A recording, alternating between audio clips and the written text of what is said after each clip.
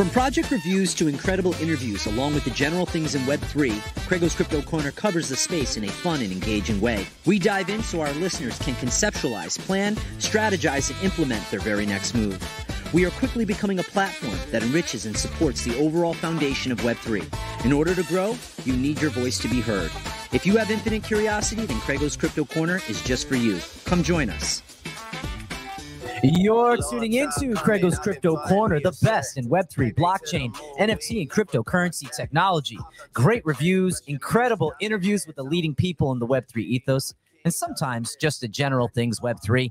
Let's get to it in today's episode. Today's all about the roundtable. We're going to talk about strategy and a bunch of other great topics. But at the beginning of every episode, you guys know I have infinite curiosity. Let's get to it with my good friend, Ralph Quintero, with our weekly daily Ralpha update. What's up, Ralph? What is up, Craigo? Nice to be here as always. Excited ah. about tonight. Last week was a blast. I think we can top it even better this week. I do too. And you know, I always say alpha comes in two forms, right? The alpha is the degen play when I'll get like a, a quick text from you, Craig. You got to get in on this. I'm just kidding. I'm putting you on the spot. People are like, hey, why don't you text me, Ralph? You know what's going on. And then the other one, which I think is way more important, and I think it goes back to today, uh, this last week's conversation, is the alpha is the is the actually learning, the plot, plan, strategize, and implement our next move in Web three. That to me is way more important because when you have education, six months, a year from now when you have an opportunity, you can say it was more based on skill set and knowledge and the right questions. And you can say luck played a little bit of a factor versus I won a lotto ticket, look at me. And then you lose right. it so quickly. So. Yeah, I I would absolutely agree. I mean, you you have to put in the time, right? Like this space is like like anything else. I think people are nostalgic about the early days of this space where people were minting things like bored apes for 0.05 and and then just watching these this meteoric rise to a lot of these projects going into the seven figure marks. I think those days are behind us but you know it's more important today to actually research the teams the projects the roadmaps and everything going on before you decide what to get into. I was actually just having that conversation with a friend of mine before coming uh, online tonight live for the show. Um, and she was saying, you know, if looking back at it, it, had I not made some of these silly decisions in aping into some of these projects, uh, my bags would be much better today. And I said, look, we have to take all of that as learning lessons. I think we've all been through that. Right. I, I, think we all have to fail a little bit in this space uh, to to gain some insights. And uh, if if that's the case, I have a I, I have like an MBA and a PhD in this space by now. It's it's you know what it's it's a scholarship fund and it's going to roll us into the next thing, right? Scholarships are on losses. And Tony, if you can do a quick screen share so everybody can know what we're going to be talking about.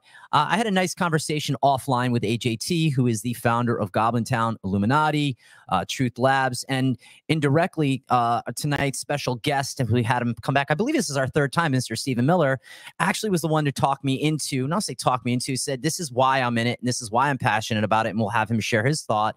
But I love the idea of these. Bring this back real quick to that screen share. I just want to talk about these acceptance letters. So by holding uh, certain tokens in their ecosystem, I was able to get some of these letters. I was only able to get the general acceptance letter and the faithful uh, backer letter. And when I think about it, it's all you can take off screen share.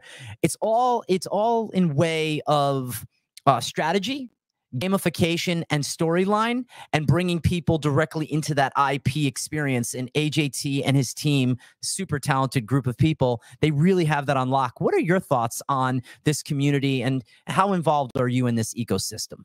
I'm very involved. So, full transparency, everything in the truth ecosystem I own, uh, from a bag perspective, it's the biggest bag I have across any individual project. So I'm holding more truth assets than anything else.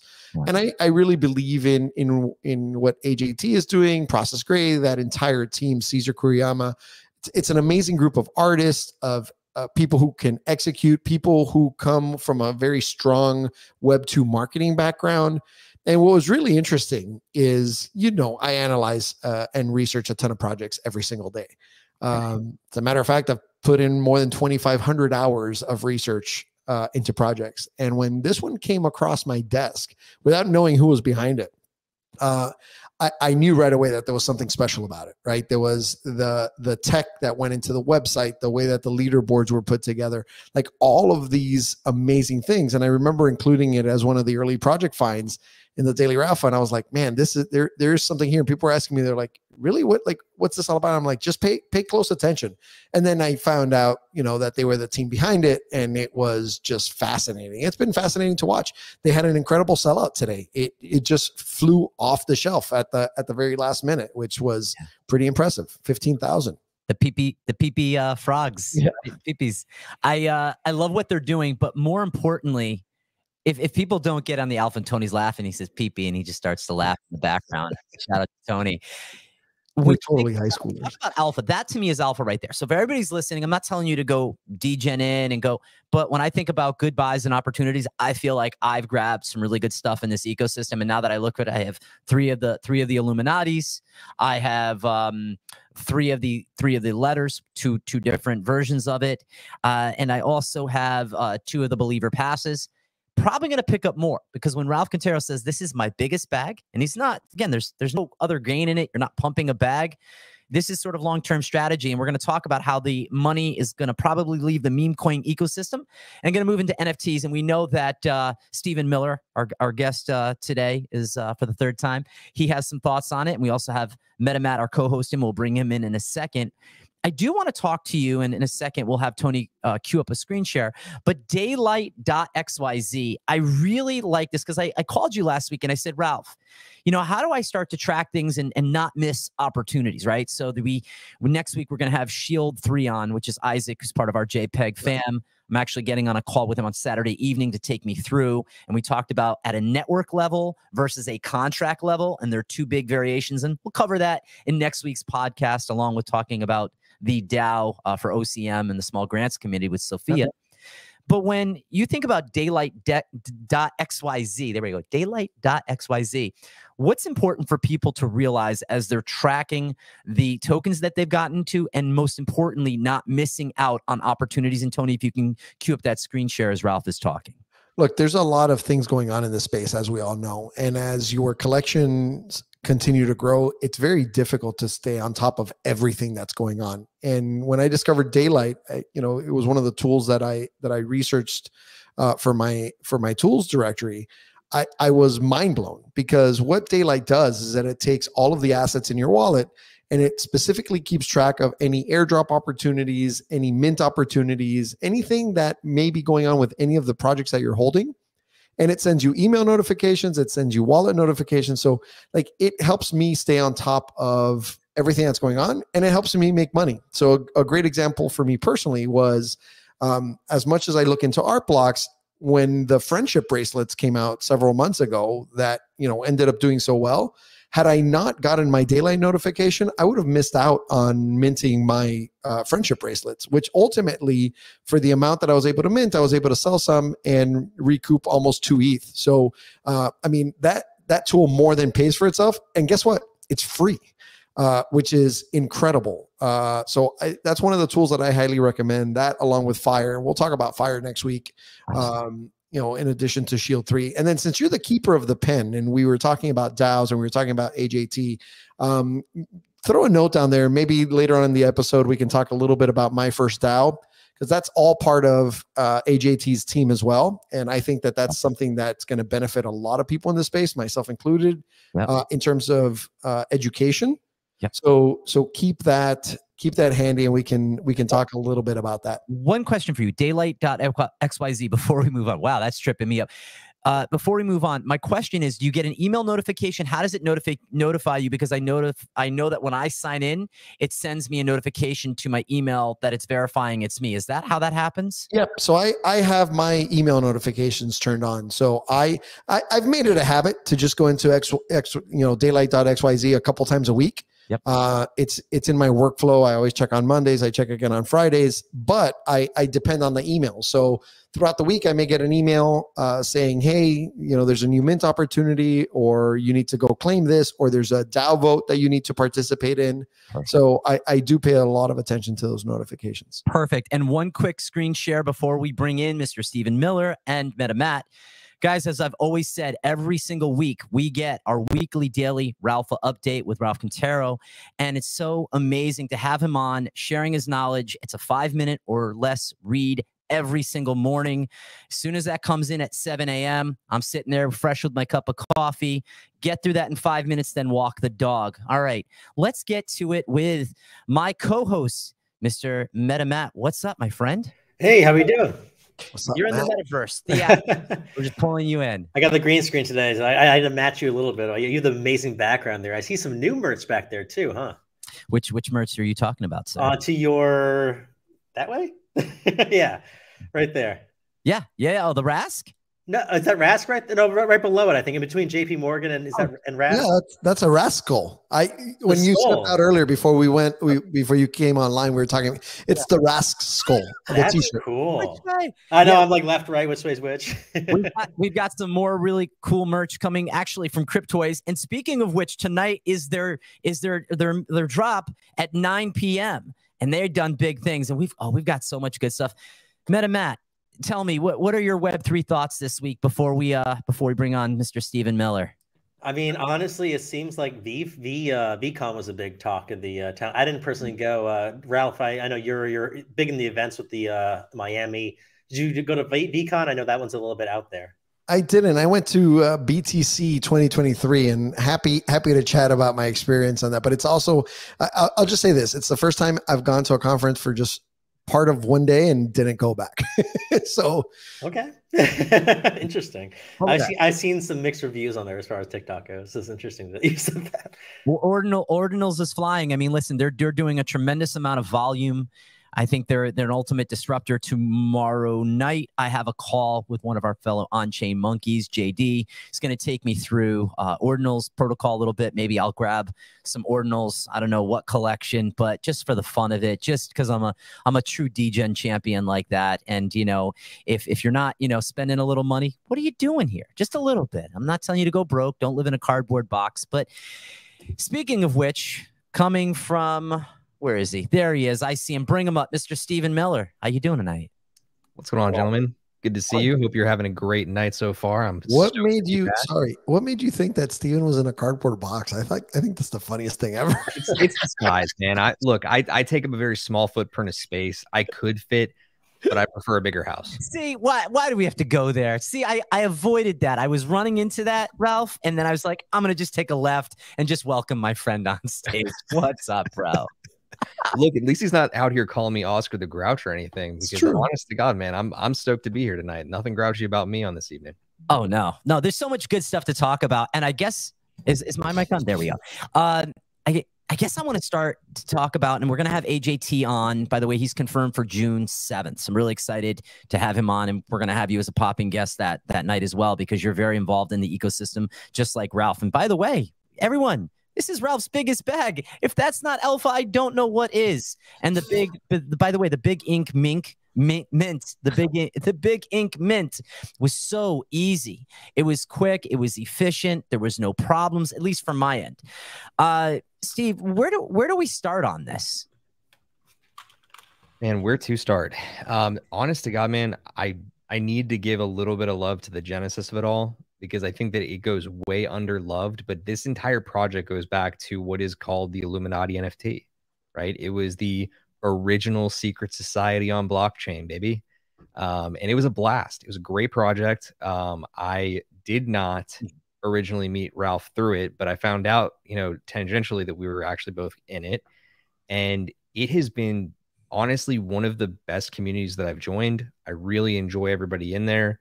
Um, and from everything I can tell, they're becoming just how Moonbirds is like the PFP for the art people, right? Like that's their brand now. I think that Illuminati, Goblin Town, every truth asset is now representative of the community of storytellers and lore builders. So I think that you have to understand that little piece of backstory to really understand what we're talking about here with Big Ink and everything else. So that's where I would tell you to start. So IP, how he has taken, I think it's King uh, Ding Ding Ding Ding Dong and King something. What what are those? They're two names, right? One is going to get 40 ETH, I guess, in back uh, from having 1% rev share on secondary market sales for Goblin Town. And uh, that was the first or second person to to mint the 187 collection which was again a smart contract flaw. They had to stop it. And then how they did an about face and then how they honored the first two holders was phenomenal. And then the other person gets the uh, 1% off of the merchandise. So how you see them building is really cool. But i think when we think about rarity and traits and i don't know if this occurred to you i'm sure it did steve and and ralph uh, when you think about how unique rarity and traits, and I always say, oh, I'm going to go for the floor. I'm just going to grab floor stuff because I want to have involvement in their ecosystem at the lowest cost and have the the highest uh, up up value, but how they can actually take one particular digital asset in that ecosystem and how they can make it a star. It can be assigned to something. It can then have extra created value. Uh, I think is really cool for those first two people in the ecosystem. And I think it was with the big ink letters, the one that had the keys at the very end. There, there was no price attached to that because the one person that owns that has a percentage of ownership. Uh, talk to me a little bit about the IP gameplay and how he's differentiating it differently than other people doing Creative Commons license and other people saying, "Yeah, you can do whatever you want with your your monkey or your ape or, you know, whatever." How is this vastly different cuz that's what I'm feeling. So let's put that one to the IP holder himself, right? I don't I don't own any IP here. Let's talk to Ralph about that one. Ralph, what do you think of it all? Look, I, I think it's a brilliant move. So I've had this conversation with a lot of friends. I am one of the original 187 holders. Uh, I had four of those. I've since sold two. I'm holding two right now. And like I said, I have I have a lot of truth assets. And back when everybody was talking about CC zero and and IP rights and everything going on, um, AJT and his crew came out and said, "We're going to kind of turn this on his head, and this is how we're thinking about IP." And one of the things that they said was, let us manage the IP for the 187. That's what it started with. And, you know, I thought about it and I've been in the business world for quite some time. Uh, you know, on the sales and marketing side, I can very easily go out and negotiate my own IP contracts uh, and licensing deals. But the reality of it is, who do I really want negotiating an IP deal? Myself? Who, who, I mean, I definitely have a vested interest. Uh, or do I want the the person who actually created the collection that that has this vision of where it can go and they want to see it succeed and let them negotiate the uh, licensing rights on my behalf with my input and that's that's that's my vote uh, and i'm i'm thrilled that that's how they're handling it um, I think I think that's very similar to the way that Luca Nets is handling it with the way that they're doing the the toy sales now. So I think we're going to see more and more projects maybe want to move in that direction. And I think for the project long term, it helps maintain a, a, little semblance of control over what you want the assets used for, because otherwise it becomes pretty pretty spread out. And I'm not knocking anybody else's approach, right? But I've seen, like for example, bored apes on beer, on honey, on uh, you know all different kinds of things. Um, you know, again, not knocking it, but like it it, feels a little disjointed. Whereas if if Yuga would have taken control of the IP and worked together with the IP holders, I think it would have been even more effective.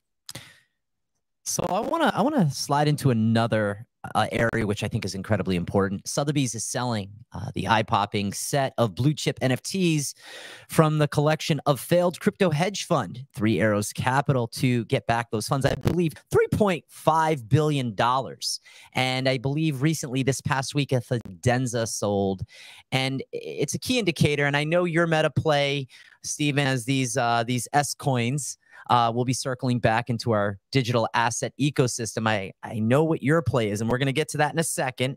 And I know what mine is, but mine is for the love of it. Yours is just, I think, purely money. Just saying. Just kidding with you, a little little jab at you.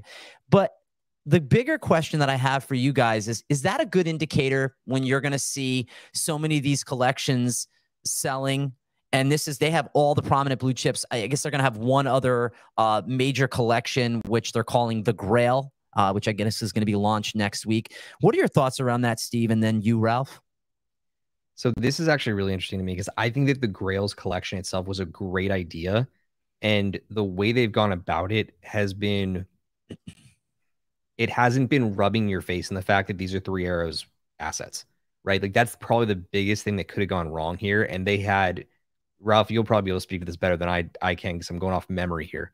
But it was either Sotheby's or it was Christie's. It was trying to do a big glitch art, um, you know, series, and they totally just blew the launch. It was terrible. They didn't consider the artists much at all. In this case, they did the opposite, and you saw a really good um, rollout of trying to sell these assets. And there were some incredible pieces in this collection, just Yeah. straight away, incredible pieces. And I believe in the art long term. I do. Um, and I think that real, real investors came into this and saw it for the opportunity that it was. And they didn't over market it as something that was, you know, come and capture these three arrows assets. It was doing right by the people that ultimately got hurt by three arrows collapsing.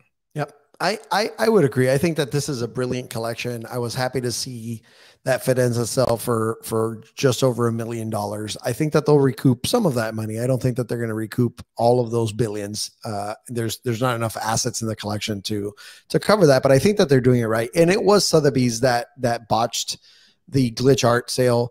Um, you know, there's there's mixed there's mixed feelings about that.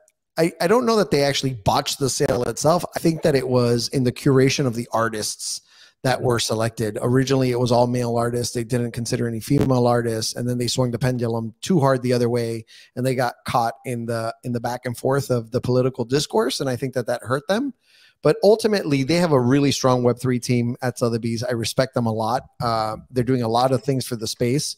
They're the, also the ones who who led the charge for creating the Sotheby's marketplace. So it's it's people who are in the know in the space, uh, and and they're doing a lot of things to move the space forward, which I always applaud. Yeah, the uh, the Grails collection. Just fun fact: it was uh, it's worth uh, you know around 2.4 million is what they said.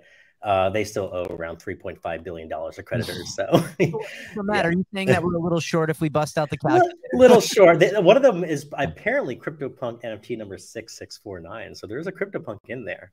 Oh, There, there is, and it's actually a There's really multiple, right? clean. It's a very clean CryptoPunk, which I was surprised for the amount that it went. Uh, I thought it was fairly inexpensive uh, for for the kind of punk that it is.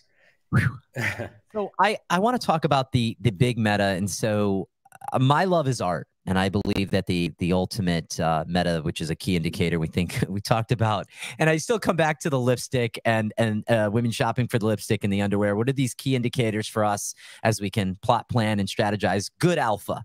Uh, but Steve Miller, you you have a different thought as to where the digital asset ecosystem is going to go heavily once meme coin season is over whatever that means. What are your thoughts? Well, first and foremost, and I spoke to Ralph about this earlier today. Um, there will always be another meme coin season, always. Agreed. But the time is officially turning back to NFTs, in my opinion. Okay. Um, I think it needed to happen. It's about damn time, if you ask me. Um, but I, I really think a lot about where is that next move going, right? Like where we see the money flow from Pepe and all these other ones, because we've seen so much money flow out of that segment. Yep. It's it's not going to be from Ben. It's not going to be from Psyop. Believe you me. Um, it came out of Pepe and it's been sitting on the sidelines. It minted a lot of fresh millionaires, a lot of them. And I asked myself, okay, where does that money go next? What makes the most sense? And out of the conversation that Ralph and I had earlier today, I think that we are both in agreement on one of two. And it's the one that I'm very, very bullish on is the sports segment. I think you're going to see a lot, a lot go that way. Um, and I want to throw it to Ralph on that one because he's got another thought. We'll unpack all of it in a few. Yeah, I. I I agree with Steven on this one, right? I think I think money flows to two segments, sports and music. Uh, I continue to be bullish on music NFTs. I still think that there's a tremendous amount of opportunity there, and there's a lot of smart people working on plays in in that regard. But sports, uh, what I what I love about it, and and why I think I agree with Steven on this so much is if you look at the degen nature of us traders in the NFT space, it's very much aligned with the degen sports betters and you know and and sports fanatics Yeah. so there's there's a lot of similarities and we can draw a lot of parallels between both of those communities Um, and I think it's just a natural, it's a natural extension of of either side to cross over. So I I agree with Steven on this one. I think I think we're going to see a pretty strong sports season coming up, and and just like on the music side, there's a lot of really smart people doing things on the sports side of things. You don't think they're putting it into like Bitcoin or Ethereum or the actual crypto assets, or you think they're going right for the Matt? Uh, Matt, we're talking about the most degen of degens right now. I mean, they they love their dollar cost uh, dollar cost averaging into Bitcoin. Like, uh, but yeah, no, there are. I mean, what what are some of the NFTs that you would be looking at as far as like the music? I, I, I was just I was just about to get to that, Matt. I'm glad you asked that question because these two men are like sports NFTs. Hey, uh, Ralph, let me toss the ball over to you. What do you think? And you know what we didn't hear? Give us some names, guys, of, of, of people that people communities that that our listeners can do research on because it's not enough for you just to tell us this Well, is yeah. where it's going music and and our, uh, sports. We want to know, right, Matt? Yeah, well, I've heard about Pepe. I haven't heard about. I don't know about any. I, I know there's Yeah. the, the ones We from want- like you know, during the names. bull We run. But give me give me someone that are doing like good now or well now. Well, let's let's start here. Ralph, talk talk data to me, right? Not not talk dirty to me. This is a good show. positive Yeah. G, PG rated show. Talk data to me because there is one such collection that has been making moves lately. Break that down for the folks. So if we think back to the beginning of the NFT run, I would say that most people would agree that what really kicked off NFT season back in early 2021 was Top Shot. Uh, that was the first real consumer facing application of NFTs when people were buying uh, these NBA moments. And, and that really spurred a tremendous amount of NFT activity in the hundreds of millions of dollars a month. I mean, it was just a, a ridiculous amount of NFTs uh, being traded. We've since seen that die down, and it you know just systematically month after month after month declining, especially throughout the bear market. Now, what's interesting is over the course of the last six or seven weeks, um, if you track Top Shot sales, you'll see that it's slowly starting to come back and it's increasing. And there's there's a lot of reasons for that, but you know when I was talking to Steven earlier, one of the things that we were talking about was one specific athlete, and I'll I'll throw it back to him, and and we can banter back and forth a little bit. But I I think that we will be seeing a resurgence uh, in Top Shot, especially as we're coming into the finals, especially as we're coming into draft season. So that that can kick it off, and then I think we should talk about that particular platform a little bit, and then we can talk about some of these other sports projects that I think are are interesting as well. I love the NBA Top Shot, which is on the Flow blockchain. And who else is on the Flow blockchain? Our good friend Will Weinraub from Cryptoys. And by the way, if you guys aren't involved Three in crypto, minutes away. Ah, three minutes away, I would highly recommend that you check that out. It was just top of the hour, and I how can we not show love to a He has fellow? some cool Star Wars stuff that just came out. I saw all over Twitter. He is now. I know I divested. I know I went off the track, so I'm gonna throw this back over to you, Steve. What are your thoughts? So I'm starting to get really impressed with Flow Blockchain. I haven't played too much in that ecosystem, but what I can say is this when it comes down to it, that's where sports NFTs live. Point blank, you don't need to take it much further than that. They've got La Liga NFTs on Flow, NBA Top Shot on Flow, NFL All Day on Flow, UFC Strike, right? You've got everything. If you if you're if you're a sports fan, for the most part, you've got you've got a place to, to play here. Um, Panini, you know, of America and Panini Global have their own unique thing. Topps does their um, you know, baseball NFTs on on ETH. They haven't really picked up because the marketing there has been a little shoddy and they just got acquired by Fanatics. So my personal bet is stay on the flow blockchain. That's where the money's at. But the reason why I'm super bullish and why I think that NBA Top Shot's gonna be the play has a lot more to do with timing because you have two major events that are currently on like right like they're right on the precipice of happening right? You've got the nba finals which are eventually not yet but eventually going to feature rob's uh i'm sorry wow where's my where's my head at? Mr quintero's um famed miami heat as well as um the denver nuggets big play there, big players. They're all they're going to be a lot of featured assets on um, Top Shot when the finals hit. Now, what else is happening? If I ask you guys about the um, the name Wemby, do you know who I'm referring to? Okay, I've heard of it. we're talking about a guy named Victor Wembanyama. He's the most hyped rookie since LeBron. Okay. Everybody's losing their minds about it in the sports card trading world to the point that those assets right now, he just had his first rookie card debuting in Bowman Inception U literally last week. It's now selling for $12,000 just right off the cuff. So people know about this kid and he is the real deal. So I would tell you the second that he debuts on Top Shot after the draft, which is happening mid June, we're going to see a pop. And it's going to be something that a lot of people watch. And that data trickling in that you just heard about, I am confident that Ralph is right because that's what we're going to start seeing a mm-hmm. lot more, um, you know, money flow towards the second that we get to both of those events coinciding at once. So I'm amped about it. I think it's almost locked and loaded at this point. Not so, financial advice. Yeah. I, I want to throw something else back. Uh, Knights of Degen, Drew Austin, big shout out to him. Yep. What they're building in the community. By the way, I was just scrolling through his page. He retweeted NBA Top Shot. So look at these parallels. You draw these lines, you start to make sense. And again, don't overspend, don't go broke. We don't want to see anybody else in a cardboard box. Isn't that right, Steve? God forbid. But by the way, we we hit the we hit the access access, and and I'm not going to use the F word, but we messed around and we found out together. Steven calls me a couple weeks and goes, Craig, what do you think about this bad idea? I go, it's such a bad idea. I'm going to send you some money right now, and we'll double this bad idea in together. And then a couple days later, I said, Hey, Steve, you know, I haven't heard from you. I'm going to assume we're not millionaires. He goes, Craig, do you look behind me? I said, oh yeah, I still got the cardboard box, and we're we're still working our way out of the cardboard box. But you know what? Metaphorically speaking, Steve, we're champions, and in the bull market, people are going to be like, oh my god, Steve, can I get your autograph? And I'm like, stay away from him. You're going to hire me as security. And then Ralph, Ralph where's your soundboard? you needed that for that one. that was a dad joke for the night. But so, two sports NFTs, right? NBA Top Shot and then I also want people to, to dive into the Knights of uh, Knights of Degen ecosystem. Um, I've always been a big fan of what Drew has done. We've had him on the podcast in the past. Hopefully, get him back on again in the future.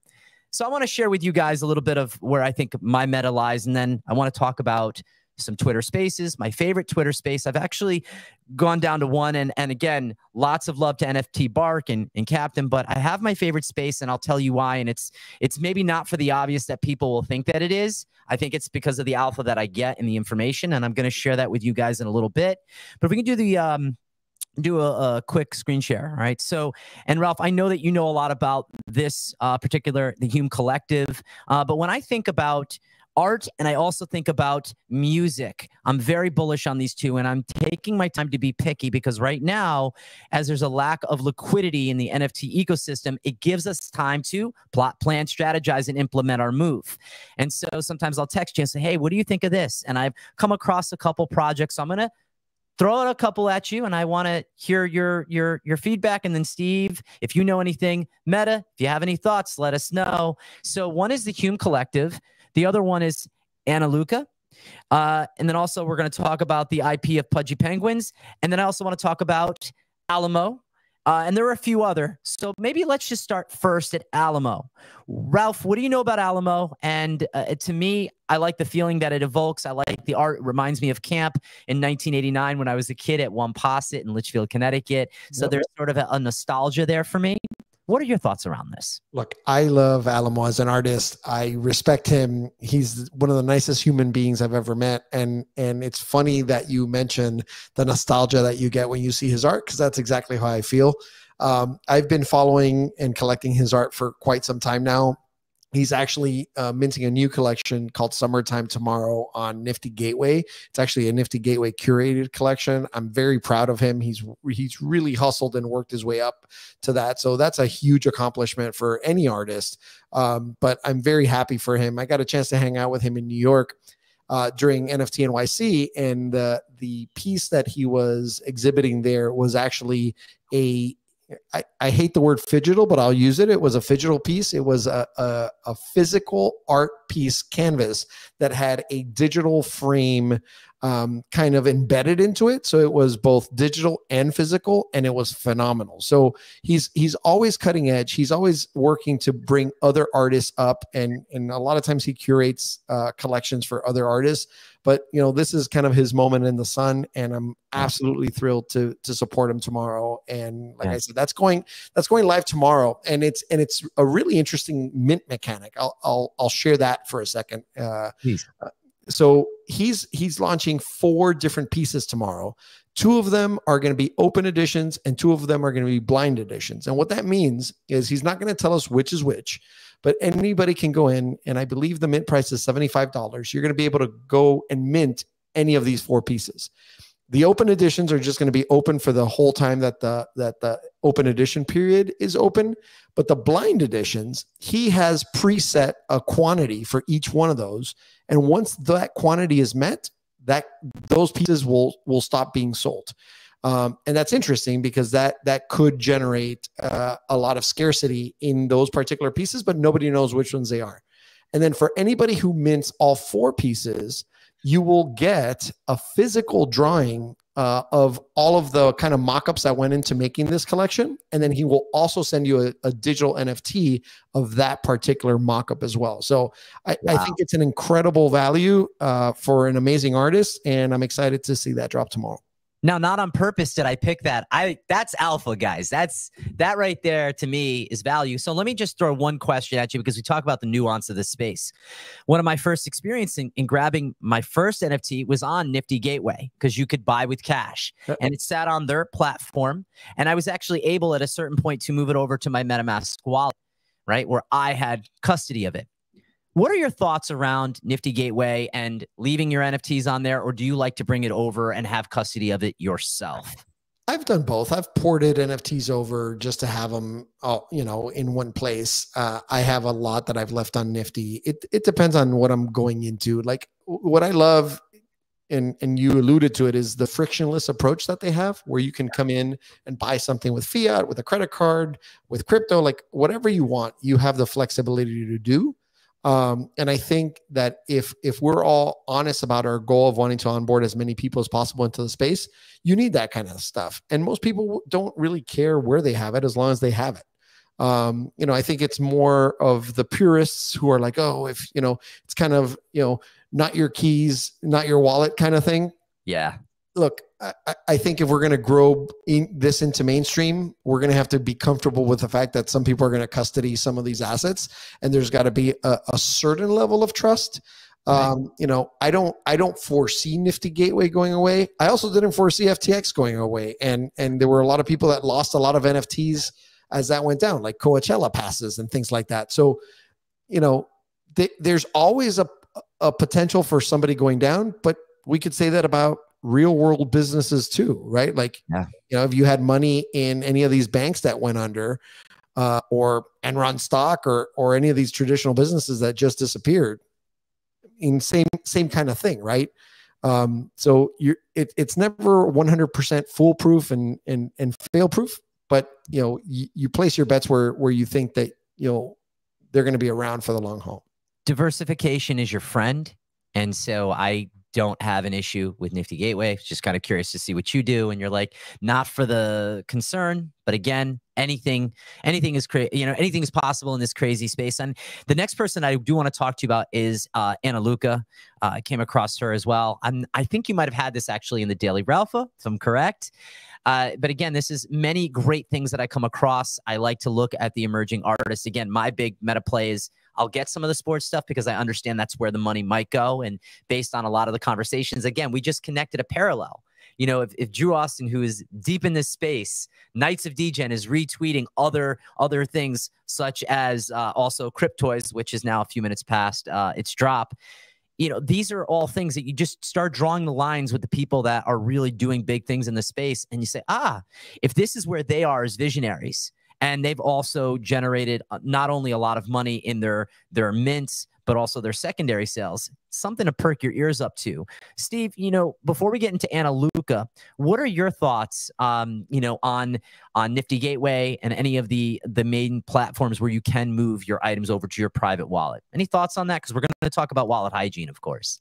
I think the biggest thing that you have to go back to is the age old saying, right? If and if you've been here since like we keep going back to ENSGod.eth. Come on, folks. I'm not ENSGod.eth. Um, it's, it's, it's, adorable. I appreciate it. I'm basically ENS uh, cardboardbox.eth based on this show. Oh, they were going uh, there. But none, nonetheless, I got to go back to the old saying, right? Uh, been knowledgeable of this saying since 2017.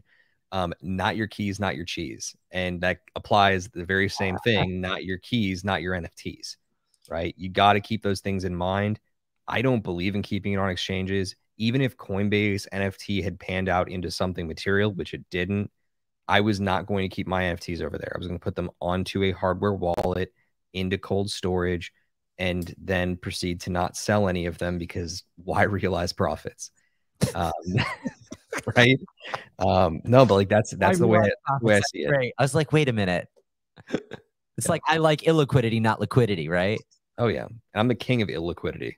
All right. All right. Let's talk about Anna Anna Luca. I thought this was really cool in this this whole quilts project and how they're doing the the digital art. And she seems such like uh, not just a talented artist, but one that's a conscientious artist as well, and really wants to make uh, an impact. And I'm noticing that as sort of the trend as I'm reading the Daily Ralpha and seeing every single day a new incredible artist. And we're not short for artists in this world of creativity. Tell me a little bit about her.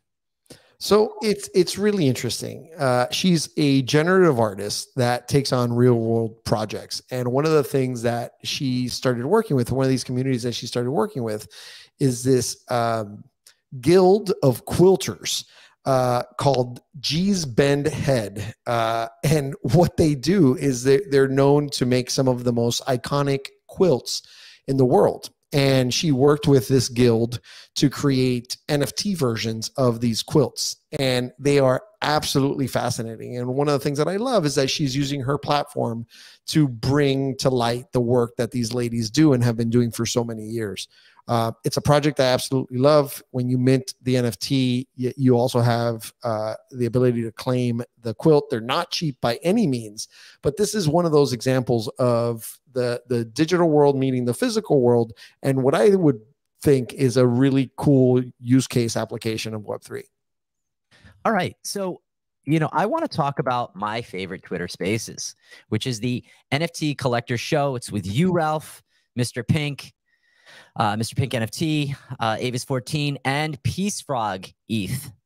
And um, I'll tell you why I like the show. There's a lot of strategy. It's not overtly busy or complex, complicated. So I'm able to actually understand. Uh, when I say that, understand at a very ground level uh, you know, some of I feel like some of the Twitter Spaces they can get complicated or they can get mucked up in the in the in the uh, uh, in the mud, right? They're just they're stuck. They're they're playing around too much, and again, that's fine. Uh, there's every space different for everybody. Maybe I'm just I don't know going to be 46. So what I'm wanting is a more matured space. I'm wanting conversation that has movement. And this happens every Monday evening, if I'm correct. Please correct me if I'm wrong. 8 p.m. Eastern Standard Time. Tuesday, Tuesday evening. Tuesday evening. I apologize. Tuesday evening. And when I tune in, it's funny. Monday through Friday doesn't matter, one day to the next. But Tuesday evenings, and you said 7 p.m. 8 p.m. 8 p.m. There we go. Tuesday evenings, 8 p.m. I I love that about your space and the conversation flows. Uh, Mr. Pink just makes so many great points. Peace Frog as well. And um, I just would invite people on Tuesday evenings at 8 p.m. to tune in to, to that show on Twitter Spaces. You grab so much value from that. And anybody who's listening in on the Spaces, go follow Ralph and then go just set a reminder when that comes out. And you you guys usually post it what the day before on Monday? Yeah, either usually Monday. Mr. Pink is the one who posts it. It's you know I I appreciate you giving me flowers on that show. It's been it's been tremendously fun. We've been doing it for a little over a year now, um, and it's it's just four friends talking about art, talking about alpha, talking about whatever's going on in our minds. Um, I, I, will tell you, it's it's not even remotely close to being as polished as this amazing show that we're on right now. Uh, um, Craig is the ultimate Twitter Space host. I have never worked with anybody who's who preps more, who who puts so much time, energy, effort, and care into the product that he's putting out. That's not what we do on Tuesday nights, but to Craig's point, we do share a lot of really actionable, valuable information uh, from a very diverse group of people, right? Mr. Pink is very much involved in the space, as am I, um, but he brings a perspective from from a, a, a, collector and somebody who makes things happen for artists. I come at it from the research and alpha perspective. AVS comes at it uh, from the art perspective, he's a, tr- a, traditional art collector who has deep roots in the traditional art world, uh, knows the family of Andy Warhol, has worked with some of the most amazing artists in the world, and he actually has an incredible in real life art collection, uh, which is mind blowing. And then Peace Frog comes at it from a community perspective and we really just shoot the shit and and have a lot of fun and and you know we just talk about whatever's on our mind but it's always around art and alpha and collecting it's funny. I should know that it's Tuesday evenings because obviously we do on Wednesday, and I have to say this being our second week uh, at 8:30 p.m. I'm having to get adjusted to the time between work and kids. I got it Tuesday evening 8 p.m. and I've listened to it enough, and I don't want people to think, oh, I'm giving flowers just because you're on my show every week. No, it's it's really it's an easy listen. I've gained a lot of knowledge, and I feel like what you just said, like those behind the scenes things, I did not know until you just told us all. But I do want to talk to you guys about Twitter space strategy. And by that, I mean, there are a couple things that I do when I'm going to press that request to speak button, right? And I was thinking about it at first, right? We all came in, you want to grow your platform, you want to grow your digital asset community. If you're the founder, you're the dev, you're a mod, you want to be known, you want to feel special. Great. But my thing is when I go into a spaces and I want to hear what you guys think, I'll listen for about five minutes. The first minute, I know I'm going to stay. The next five minutes is if I'm going to speak, what is it that I'm going to say that's going to add value? And more importantly, am I intently listening to the content? The other thing that I do is I go up to the um, to the tweets that have been posted and I'll scroll through them to see if there's anything that resonates with me and what I'm interested in. And as I said right now, my big meta to collect, which is not about money, is art. So Alamo, gonna be jumping into that tonight to support Will. After this podcast, I'm grabbing some Cryptoys. You know I am. So for me, as I build my collection, there's there's a fulfillment in that. And I think going through that that scholarship time to know the losses is really important. But as I said, I take notes. I figure out what it is that I'm going to say. And then when I'm going through the the, the Twitter spaces, I'm going through the the pinned tweets. There we go. And I'm seeing if there's something that resonates. And if it does, then I'll speak on it. So, Ralph, let me throw this to you and then Steven. I want to hear what is your Twitter space strategy when you're not in a space that you were either host or co-host? So I I have a couple of spaces that I listen to regularly uh, and that I participate in. Uh, I love Coffee with Cap. That's my favorite morning show whenever whenever i am around and i can listen to it. I i absolutely love it because i know that they're always going to deliver value. They're going to be honest they're going to be funny they're going to be engaging. We talk about conspiracy theories all the time which i absolutely love. Uh, i love conspiracy theories. Uh, so it's it's quite entertaining for me outside of that I, I think i have a very similar strategy to you in in where i'm coming in uh, I'm I'm like if I have some downtime or I'm walking the dog or or driving somewhere, I'll I'll start scrolling through the Twitter Spaces that are live, and I pay a lot of attention to what the title is, and I'll come in and see. First off, I I look and see if anybody who I I follow uh, or follow me are sitting in that Twitter space, and that that gives me a good feeling for the quality of the space um, how many of the people you know who I engage with on a regular basis have taken their time to be on that space. I also look and see if they've shared anything and and I will usually hang out for 10 15 minutes and see if if you know they've got my engagement. If I don't feel engaged, I I won't dedicate any more time to it. I'll likely jump and go find another one. Um, but most of the time I'm joining Twitter spaces either to learn something or to be entertained. That's that's my strategy. That's a good strategy. It sounds uh, similar, parallel to mine. And Steve, is there something more that you could add to what we've just gone over as far as Twitter space strategy and and growing your your brand? I mean, you've got to think about it from both perspectives. Well, all three. Are you hosting or are you trying to appear as a guest? Or are you trying to just simply tune in and find good quality spaces? right? One of the things that I love about uh, the Tuesday night show with Ralph, Mr. Pink, um, and everybody else who's on that, Peace Frog and um, you know Dow Jones, phenomenal shows have a balance, right? You need to have a character on that show that's got all of the attitude and energy in the world. In that show, it's Mr. Pink. Then you've got people that add value, right? That would be, of course, our good friend Ralph Quintero there's so many different ways to think about it but from there once you achieve a balance that makes for a great space it keeps things entertaining keeps value adding back to your audience if you're just trying to appear and you want to enhance your brand you need to be thinking about how can i add value?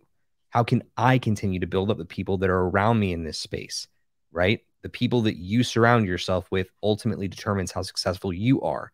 So are you going up onto stages with people that can build you up and you can build them up?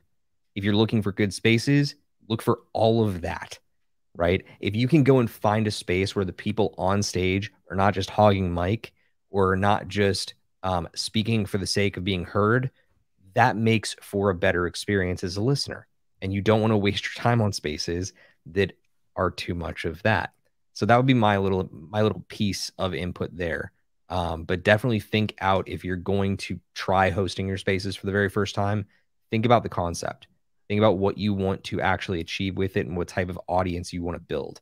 If you can go into it with that, you're going to set yourself up for, for success, in my opinion. That's some great alpha right there. Cause I feel that that's so important. If you're going to build in this space long term, those tips, tricks, and again, I, I think Steve, you, are so right. Right, balance. What is the perspective? Are you coming in as as a listener? Are you coming in with the intention to speak? So really important. And we're going to get to some more exciting stuff. But before we do, I want to thank those that are tuning in. Right, we got Wylan in there. I see you, buddy. Uh, a doctrine. I think that's how I say it. Um, Matt Swayze, I see you. Batman, thank you so much for popping in. Uh, William, we'll have you up after spaces to talk about AI and writing abilities. Incredible writer in the space. Uh, Itonic, I see you as well. I appreciate you. Uh, so, you know, I, I do want to say one thing to um, to Ralph's point, right? When people speak on conspiracy and someone goes, that's a conspiracy theory, Ralph, here's how you respond to them Hey, do you think there could be more to the story than what we're just hearing on the news, whether it's left or right? Just ask the question, throw your hands up so gently, and see how that works. Um, that's that's my thoughts. And one of the things that I do want to talk about, because we always get so passionate about onboarding Web two normies into Web three, because I feel like once you've tasted the Web three drug, that the NFT or the crypto, it just pulls you in. And uh, I'm I'm fiending to talk about this. So Tony, if you can, in between rubbing that beautiful mustache of yours, if you could do us to a screen share, Mike, I had to. I'm sorry. So Coinbase One. Now I, I, first, Steve, I want to get your opinion on this, and I, I like it for a few reasons. We're all going before we get on the highway. Your on ramp is going to be your centralized platform. Now, yeah, you can do MoonPay and you can buy directly in crypto, and you can. Ah, I'm going to stick with Coinbase. What are your thoughts on Coinbase One with zero trading fees? I mean, it's going to cost a little bit each month. I think you can try it for a limited period of time. Pre-filled out tax forms boosted staking rewards, uh, dedicated support team, whatever that might mean, and then exclusive offers. It's kind of like, hey, if you get this, that's sort of a sizzle statement. But overall, do you think that this has more value than what it's going to charge per month? It's a really good question. Um, I think that for the user, there's a lot of value there, but the user has to ask themselves, how much am I actually going to be trading? Right? If you can offset that cost based on what the normal fees are going to be, it's a no brainer. Like right. Why wouldn't why wouldn't you use Coinbase One just for that alone? Um, but if you're going to be a casual, you know, once in a while trader, you're going to make big lump transactions, bring a bunch of ETH into the ecosystem to come spend on NFTs over here with me, me and Ralph. Right. Um, you don't need it. You need one transaction to pull over all of that ETH and then send it to your wallet on your MetaMask or your Ledger, wherever it is that you choose. Right. That's all, all you really need, right? right? Um, so you have to ask yourself in your unique case, what do you need? Um, I do think that there there are definitely merits to it. I think it's a really powerful new model that more more people need to be thinking about. Like, you know, I want to see Kraken do something outside of the norm or do something reliable for once. Shots fired indeed. um, but uh, that's that's what you need. You need more innovation in the space, and I'm not sure if I can call this quite innovation. It's a SaaS model in a lot of ways, um, but I like it. I think it's going to be good. You know, crypto you know when we think about cryptocurrencies and we want to we want to enhance the user experience and so when i think about coinbase or binance I, I don't love going on to binance and again it's nothing against cz shout out to you if you're listening but i yeah, like you are but when i look at coinbase it, it's so user friendly it's so easy to send things back and forth. I like that they've got educational material on there. It's not where I'm going for my stuff at this point, but I feel like when people have to learn and you're going to introduce some something to someone, such as when we think about Cryptoys, very easy to use platform, very easy to purchase with your credit card. This to me is exciting because that's going to onboard more people. So when I think long term collections that are going to grow in value, it's when people can discover it and own it in a way in which is not intimidating. Say, yeah, I have NFTs. Oh, what what's your hot wallet? What's your cold wallet? And which, by the way, we'll talk about hygiene they're not going to have to say that because it's not going to matter. And they're going to just be able to hook onto that platform. And then that platform is then going to give them the option through an educational resource to create an, an, a wallet within its own ecosystem. And they're going to be able to be introduced to it directly from the platform itself. I'm not saying that's where Cryptoys is going, but that's what I see happening is they build a fan base, they build a storyline, they integrate and build off of that IP, all the things that they're doing. I mean, the connections that they have in Cryptoys. I mean, that to me is exciting. Uh, it's exciting to see what Illuminati. Uh, Truth Labs is doing um, in AJT. When I spoke with him the other day, just to have a one-on-one conversation to see how he thinks. That high-level thinking is just those are the people those are the communities that get me excited. That's when I come alive at what, what do we have? 925 at night. We still got a little more to go through, gentlemen. So let's talk about wallet hygiene. And I'm, I'm going to start with you, Ralph. Now, I know that, you know, Josh Young, when he came on the podcast, he said security through obscurity. So I'm not telling you, I'm not going to ask you, well, Ralph, how many wallets do you have? Ralph, where do you hide your phrase? We're not, that's not where we're going. Where we're going is. You know my seed phrase? No, no, you know what? I, I I value our friendship more. You can keep your stuff. I'm good. I this is way more utility for me than your seed phrase. That's how I judge this relationship on a work level. Personal level. Do you know what, Ralph? Every once I'll take your seed phrase. you know what? You know, you're done. You're out of here. I love you, Matt. Damn, I should have taken that over under on who was gonna get kicked out first. Never. You know, we've been running strong, man. I I have to say, I haven't really. I don't even. I don't have. Never had an argument with either one of you, and I'd feel very uncomfortable if I did. But let's get back to, you know, um, you know, wallet protocol. Right. Wallet hygiene. Didn't mean to derail you. Yeah, hygiene. So let's come back to that. What are some tips that you can give? Because you have a massive amount of collections. They're not all in one wallet, they're separate. But what are some tips that you're willing to give the general public? So, so a couple things, right? I, I believe that a a hot wallet and cold wallet and warm wallet strategy are all important, right? I think having uh, you know your most prized possessions and assets in a, in cold storage, uh, like, I mean, I'll I'll share with you. I know that you said, uh, you know, you don't want to know how many wallets I have. I have a lot of ledgers, and I still have two unopened ones on top of my desk uh, that I plan on using and deploying. So I have things spread across various ledgers, various hot wallets.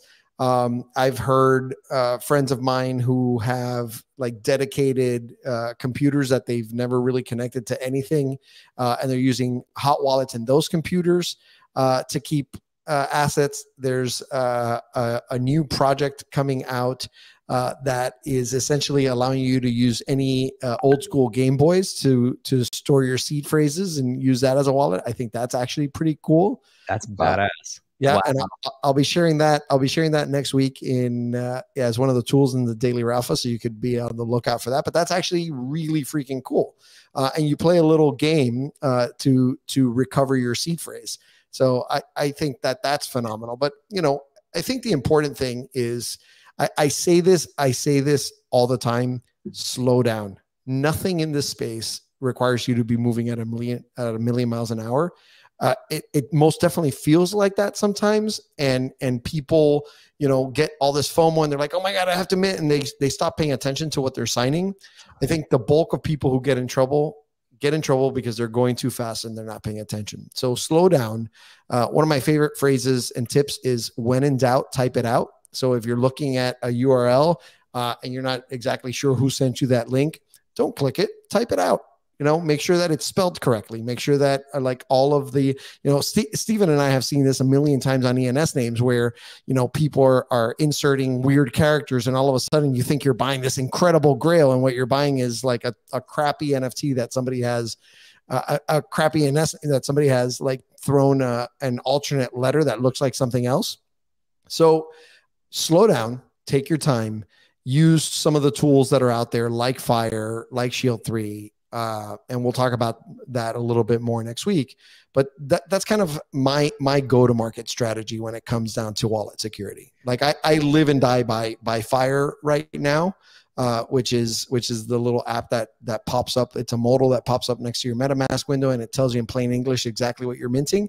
Uh, that's been a lifesaver. It's actually saved me from four malicious transactions, and I don't mind sharing that publicly uh, because that just shows you, like even me, where I'm so involved in this space, I still come across things that are potentially malicious, you know, contracts.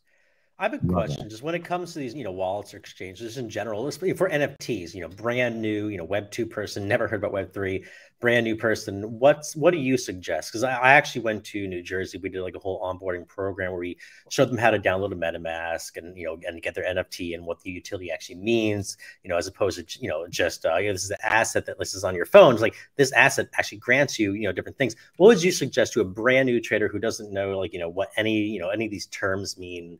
You know, hard, cold, whatever. Would you go for like to a MetaMask? Would you go to like a, you know something else? I would send them. I would send them to an exchange where, you, or or a, or a marketplace where you could actually buy in fiat and and do like an OAuth authorization where you can connect with your uh, you know one of your social accounts or your email. There's a wallet generated on the back end. I mean, if we go back to the top of the show when we were talking about Top Shot and and how they onboarded so many people into the space, at the time people were just buying nba moments. Nobody knew like what an nft was uh, what what its use case was going to be. But they it was a trojan horse into this incredible web3 experience that turned all of us into nft degens and and we don't have to go that far. If you look at what Luca Netz and pudgy penguins did this past weekend with their toy sale can um, we talk about that though? Because that's he. I, I saw on the show notes and like Pudgy Pen. This is the this is the news. This is a Web three company turning Web two, like doing things that the companies that are already successful are doing, selling legitimate options that people can hold. Like that's that's huge. That's it, huge. It, it is huge, and and it it really is. Luca mentioned it during a space that he was on. It is a Trojan horse because what's happening now is you're buying that physical toy and these kids can now connect to the penguin verse or whatever it is that they call it the pudgy verse. I, I don't know i don't know the official name so don't quote me on that one. Um, but what it allows those kids to do is trade some of the traits from their physical toys. So it, it's kind of a backdoor into web 3 and I think the more companies do that, I mean, Starbucks is doing something similar with their Odyssey program. All of these people that are in the Odyssey program and are collecting stamps and all this stuff, they don't necessarily know what's going on in terms of their wallet. Like something's being created for you on the back end. When you when you think about this IP, I, I thought that was pretty impressive. I watched that video with with Luca and how they're utilizing it. You buy, I believe, the toy on Amazon, and you can buy. I think there are four different types in the collections. You then pull out this card that has this IQ a scanning code or uh, QR. There we go, QR scanning code. You then can create your digital asset. So you're creating an NFT from the physical. So what it's doing is indirectly, it's bringing more people in that um, don't have any involvement, don't have a hot or a cold or a warm wallet, know nothing about it. And then like, hey, I got my first NFT those conversations are not happening yet on a mass level because we're so far buried in here. We almost have to come up and talk to all the other people that have no clue about this ecosystem and to realize that's powerful. Coinbase One, that's powerful. But then we also talked about two major connections, and we're also going to talk about Dead Fellas and um, what they're doing with their um, with their streaming fellas which is another extension of their IP. So we've got IP on three different communities that we've talked about tonight, right? We've got Truth Labs with AJT. We've got Dead Fellas, which I want to talk about in a second. And then we've got Luca from uh, Pudgy Penguins, right? And, and more communities doing these IP plays. But this is sort of relevant because we would have that word tossed around so much last year. So maybe we could just talk about Dead Fellas. So right now, what they're doing, uh, if I'm correct, is they've introduced Streaming Fellas, which is an extension of their IP uh, that allows PFP collectors to embody their NFTs through video streaming. Um, so they did a detailed thread uh, that was actually, I believe, posted from NFT Now, and uh, really cool. You know, it's it's it's neat to see how it's being utilized. That IP, when you hear about IP, intellectual property, it sounds really fancy. It sounds really cool, and I felt like in that last you know, I say bull run, if that was such a thing, I call it a crazy run. The IP, IP, oh, CO, Creative Commons, oh, you can do whatever you want with it and the on-chain monkey most ex- one of the most expansive licenses. However you know there's certain limitations. So it's kind of like you can go 200 miles an hour but if you're going to go past that you got to check with us first you know? So you can't be too reckless. There are certain things you can and can't do. Uh you know ralph let me throw it to you and then steve back to you. Uh you know, what do you think about Dead Fellas and, and Pudgy and how they're testing and playing around with the ideas around intellectual property. Wait, really quick, I have a question with this dead fellow. What exactly is it they're doing with IP that they're letting the the con- they're doing like Ralph uh, content creators what like use the avatars like, like yeah, so you, so you could use your dead fellas on let's let's say a Zoom stream, right, and use okay. that use that or on Twitch, right, and it's like a filter your, then. Yeah, it's like a filter. Okay. So cool. uh, is not impressed. I am not all. impressed. I'm impressed with these pudgy penguins though. They're selling at Amazon. That's a real yeah. company. Like that's huge. Like that's huge. I've seen filters before though. Like, isn't there companies that are doing that with like any? Like I've seen pudgy penguins like filters and like like you know cool yeah. cats on filters. I think I think it's not that they're doing something new. I think the way in which they're marketing it is different from how like for instance we had um Richard and Boris Wagner, who came on from Spoiled Banana Society, they came on with their ape faces. And I'm like, oh, that's so cool. It's a one off. But now, when you have a whole community movement, hundreds or thousands of people going, yeah, look at us. We're all in here with our Dead Fellas PFP. It has a different feeling and it lands very much differently than one off one offs. At least that's my thought. I mean, you look at a kid called Beast, they're doing it all the time with their videos, they're shooting their kid called Beast at a distance. I first saw that uh, two years ago with um, with Vivi. Um, you know, so I, I think it the way it's being introduced and how the community rallies around it. Again, goes back to one of my favorite words, two favorite words: social currency right? Because then if you can grab that, you got the attention economy. So the then Gary V effect, the Gary V effect, yeah. where you just you keep that, seeing that, that, that, that does make sense. so, just, so I think that's I think Matt that you're you're spot on with with the Gary V effect, right? I think what what that's doing for Dead Fellas is if enough of the Dead Fellas holders start using it on their Zoom streams, on their Twitch streams, it gets out there, and that eventually leads into the toys, the other things. I think that Luca is just so far ahead of everybody else in that space. I mean, the simple fact that that he outpaced Doodles, uh, I would have I would have bet a million dollars that Doodles would have been first to that game, and they weren't. Uh, I, I still have high conviction because I think that the team at Doodles and, and leadership there, just uh, based on their IP backgrounds, uh, could do some amazing stuff but Luca's just relentlessly executing. With and, those memes, he took over the meme space, kind of like with the gods, you know, like with Frank, he kind of took over the content creator space. You know, exactly. every, every, content creator wants to be like Frank and be around Frank. With Luca, he he took over that, you know, that meme space with those pudgy penguins memes everywhere. It's like Pepe now. You know, you see Pepe exactly. everywhere. You know, it's, it's it's very similar, I think. By the way, real quick, all roads, gentlemen, Lead, lead back to Pepe. I'm telling you. Steven's just like me and Steven like mm. no, no. Steven, Steven's just feeling salty right now. And I understand. and I want you to know I'm gonna buy you a beautiful cardboard box. But before I do, I do want to talk about the Hume Collective. And if you can, Tony, real quick, cue up that screen share. So we pulled from you and Steven that tonight NBA Top Shot is something we should be thinking about and researching and doing our due diligence. All roads might lead back there because we love the Flow blockchain. And we also talked about Knights of Degen, big fan of what um, Drew Austin is doing. But let's talk about the Hume Collective. Let's dive into music a little bit because you talked about, you know, music and we talked about we talked about sports, but now I want to give people who are listening in some alpha on what projects they should be focusing on. I think Hume might be one of those. What are your thoughts, Ralph?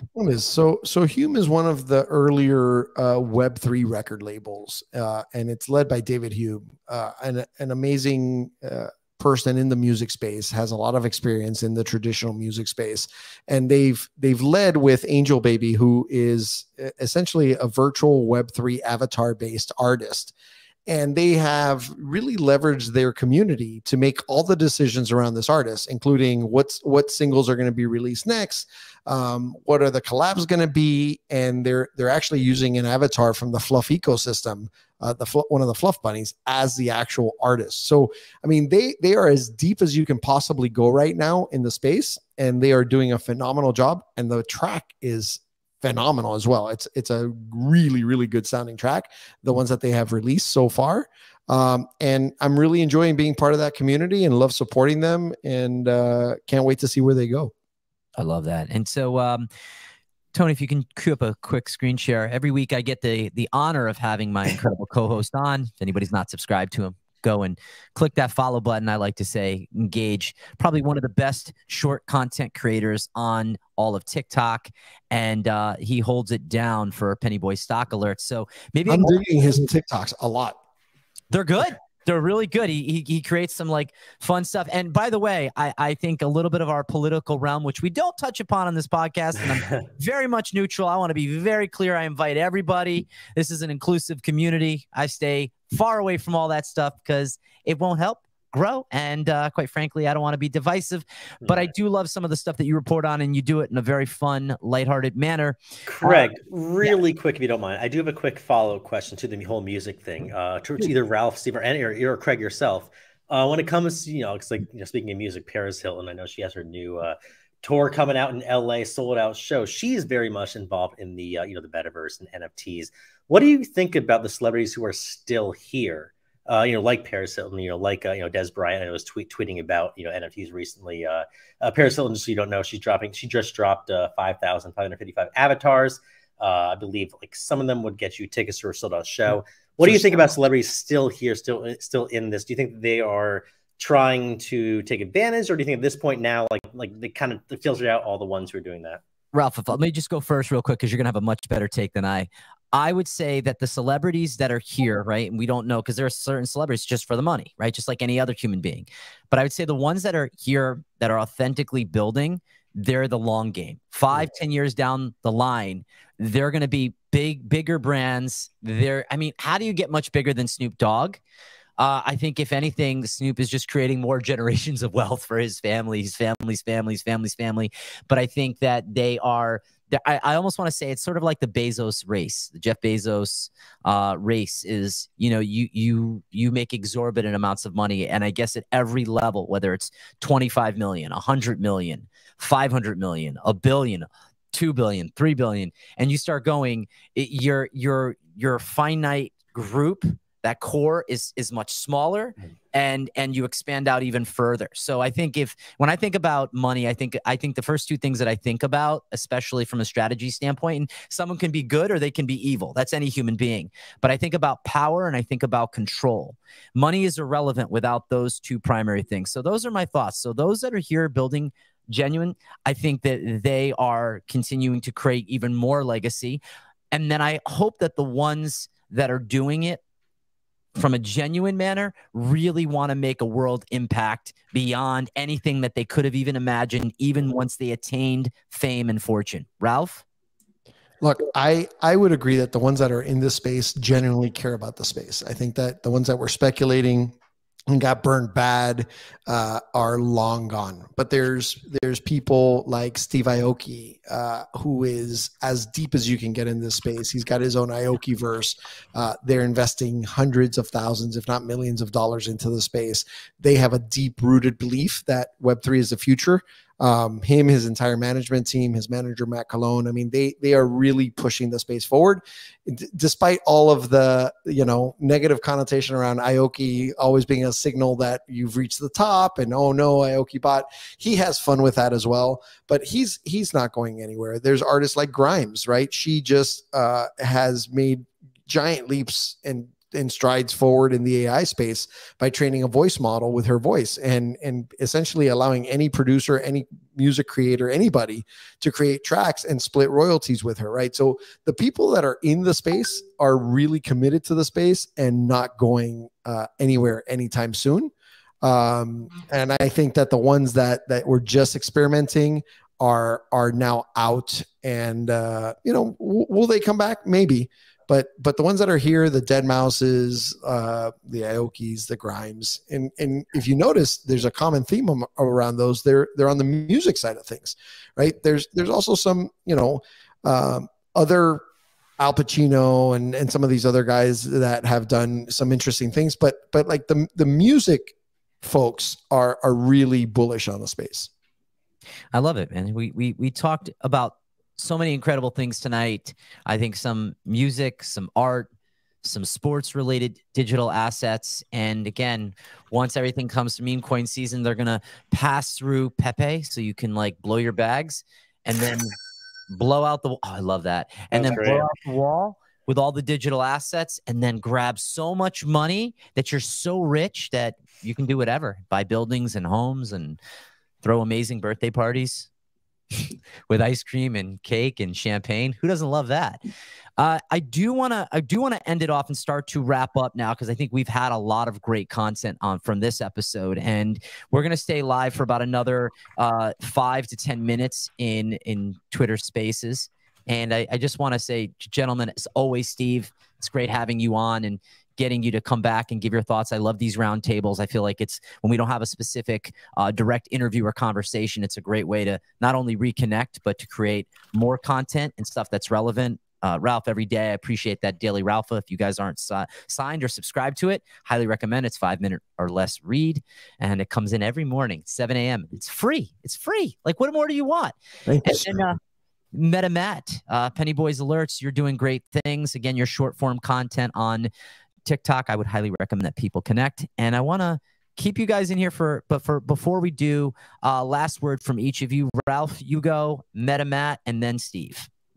Uh, I'm extremely happy because while we were just talking, I was able to mint my five Star Wars Cryptoys. Yes, I got through. Uh, amazing show as always. We went through a bunch of different topics. I love having fun with you guys. Uh, it's always a a breath of fresh air to get to hang, to laugh a little bit, to try and derail you a little bit, Craig. We have fun with that. Oh, uh, I, I, didn't push you to try and say Nakamigos tonight, but you know may, maybe you'll do us the honor of trying before the show closes. But as, as always. Fail. But anyways, thank you so much as always for having me. It was a blast. Absolutely. No, this was great. It was great having the whole the whole roundtable. I know usually it's the podcast format where you know we're interviewing one person. It was great seeing you know a bunch of different people's uh you know different point of views on different things. It's, you know, it's I know in Web three a lot of people agree with each other, but it was it was nice here you know being able to push back and get you know positive uh you know responses, which is great because I, th- I, think we need a little more pushback in the Web three space to get to that legitimacy level. But uh, that's that's just me. Agreed. Agreed, Mr. Miller. Uh, my final thought for the evening is going to be um, a belated congratulations on Daily Ralpha 500, um, a massive, massive milestone for the Ralpha. Um, and if anybody out there is listening to this and wants to learn a little bit more about wallet hygiene, drop into my DMs on Twitter. I've got a um, a little graphic that I was going to share earlier on the show that I'm more than happy to just share in the DMs. Uh, so give me a follow and shoot me a DM, and I'll send that over to you. Just all about managing Web3 wallets. That's all it is. So um, it's helpful and it's important to know once you're getting off of exchanges. So that's my final note. Um, but again, I really appreciate you guys for having me back on tonight. It was a blast as always. Love getting a chance to hang out in CraigO's corner. Absolutely. And uh, Yeah, I mean, ending words is uh, there's a lot of great alpha here tonight. And if, you know, from the communities that we talked about, from wallet hygiene, from how people are onboarding, we just covered so many great things and got our perspectives. And um, it's just an honor to have you all on every week and so exciting. And Steve, you know, we'll have you back again. And next week, we're going to be talking to uh, Isaac, who is the creator of Shield3. It, uh, it, does protect wallets and there are certain protocols. So we're going to be going over that. And it, it is at the network level. Sounds fancy. Uh, and then we'll also talk about fire in that same episode. And we'll be having uh, Sophia on from our on chain monkey community talking about these small grants uh, committee. Uh, and for those that don't know, it's part of the decentralized autonomous organization. Sounds very fancy, um, but it's a way to uh, deploy uh, capital in the form of crypto uh, to community members who do apply. So hopefully I said that right, Steve. I get the little head nod. Okay, did it right. And um, let's go over to Twitter Spaces and thank you everyone for tuning in. Thank you so much for watching CraigO's Crypto Corner, the best in Web3, blockchain, NFT, and cryptocurrency technologies. CraigO signing off.